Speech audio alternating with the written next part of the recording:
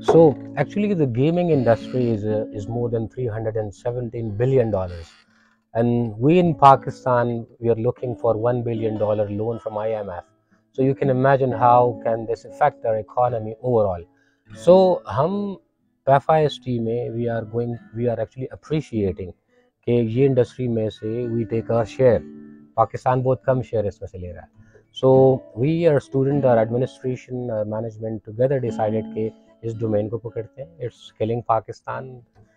फाहुक school is actually skilling Pakistan here at F I S T so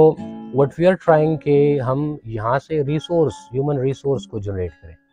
जो कि हमारे लिए गेम्स बना सकें हमारे I T graduates they go into the domains जो कि बहुत ज़्यादा सिचुरेटेड हैं बट दे डोंट नो क्योंकि हमारे वालदेन ने अनफॉर्चुनेटली हमें कहा हुआ है कि गेमिंग बहुत बुरी चीज़ है। But look at that three hundred and seventeen billion dollar against then billion dollar loan that we take from I M F